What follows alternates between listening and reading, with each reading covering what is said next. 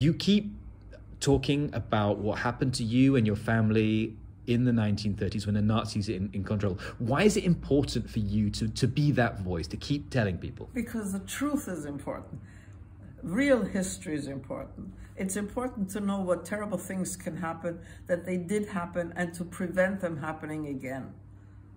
Because hatred is a continuing thing, and hatred keeps being displaced. And unfortunately, it's mostly displaced on Jews.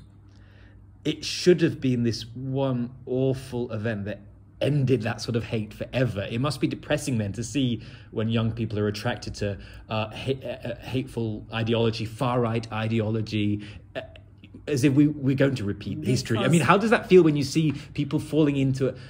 They're not the of hatred again. They're choosing it. Yeah. But I, I know it's called displacement. You cannot, you must not, you dare not hate your parents or be angry at them.